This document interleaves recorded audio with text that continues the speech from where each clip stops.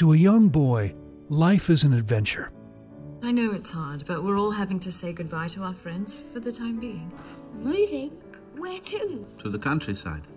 Think of it as an adventure, like in one of your books. Set during the Holocaust, The Boy in the Striped Pajamas is the touching story of eight year old Bruno. Children, look. Our new home. The son of a Nazi commander who forms an unlikely friendship with a young Jewish boy. Hello. How old are you? Eight. Me too. Why do you wear pajamas all day?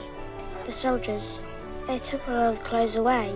My dad's a soldier, but not the sort that takes people's clothes away. Though the two are separated physically by a barbed wire fence, their lives become inescapably intertwined. It's a work camp for Jews. They're in there because they're the enemy. The enemy? Dove approved. It's a powerful drama of innocence and acceptance set against unspeakable horror. work your father is doing here is history in the making. Dad's a good man. Of course he is. I'm a soldier. Soldiers fight wars. That isn't war! It's a vital part of it.